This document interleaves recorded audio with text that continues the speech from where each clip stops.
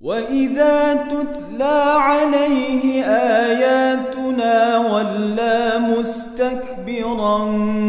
كأن لم يسمعها كأن في أذنيه وقرا فبشره بعذاب أليم